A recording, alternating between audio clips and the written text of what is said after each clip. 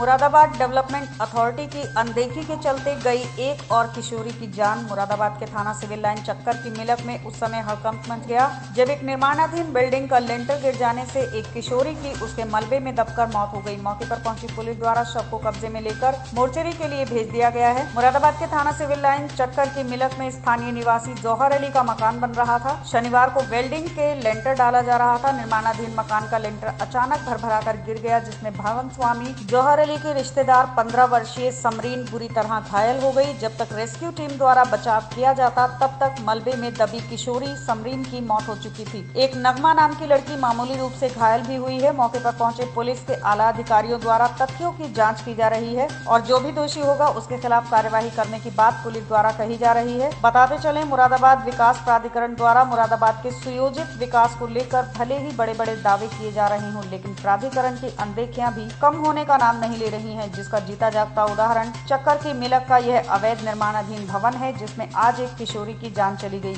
मानकों को ताक में रख कर तैयार की जा रही है इमारत। प्राधिकरण के अधिकारियों की मिली भगत और उसके दावों की सच्चाई की पोल खोल रहे हैं। प्राधिकरण द्वारा अगर समय रहते संज्ञान लिया जाता या रिहाइश के बीच बन रही इस इमारत के निर्माण में सुरक्षा के इंतज़ाम किए जाते तो आज एक किशोरी को जान से हाथ नहीं धोना पड़ता। घटना को संज्ञान में लेकर जाँच कर रहे सीओ सिविल लाइन से जब इस बारे में बात की गई तो उन्होंने बताया कि यह इमारत बीच आबादी में जोरों शोरों पर तैयार की जा रही थी। पक्षियों की जाँच की जा रही है। जो भी तथ्य सामने आएँगे उस पर कार्यवाही की जाएगी।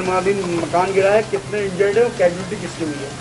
तो थाना सिविल लाइंस में चक्कर की मिलक पे एक श्रीमान जौहर अली का जो निर्माणाधीन मकान था जिसमें लेंटर डल रहा था। इसी में लेंटर डलते हुए इसका एक हिस्सा नीचे गिर गया था जिसके नीचे एक लड़की समरीन डॉटर ऑफ़ शाकिर, उम्र 15 साल की मलबे के नीचे दबने की वजह से मृत्यु हो गई है। और उसी के साथ जो एक एक और लड़की थी, नगमा, जो वहाँ पे मौजूद थी, उसके साथ वो वहाँ से भागने में कामयाब रही और वो उसको कोई चोट नहीं पहुँची है। परंतु इस, जो मलबे में दबने की इंजरीज़ की वजह से समरीन की मृत्यु हो गई है। और अब उस पर जो भी पंचायत नामे की और पोस्टमार्टम की कार्रवाई की जाएगी और आगे का जो भी विधिक कार्रवाई वो की जाएगी। क्या लग रहा था लापरवाही क्या हुई है? मतलब वेट ज़्यादा था अभी तक क्या लग रहा है? अभी फ़िलहाल इस चीज़ के ऊपर जाँच नहीं की गई है और जो जो भी निर्माण कार्य चल रहा है उसमें जो लकड़ी थी जो लिंटर को सपोर्ट करती है उसके टूटने से ये घटना होने की प्रथम दृष्टया संभावना लग रही है। इसकी पूर्ण रूप से जाँच जो है जो इंजीनियर्स हैं उनको बुला के और जो भी विशेषज्ञ हैं उनको बुला के इसकी जाँच की जाएगी कि इसके टूटने का क्या कारण है। यह जो लड़की समरीन जिसकी मृत्यु हुई है, मकान स्वामी की भाई की लड़की बताई जा रही है और इसके बारे में पुष्टि पुष्टि कारक रूप से बता दिया जाएगा।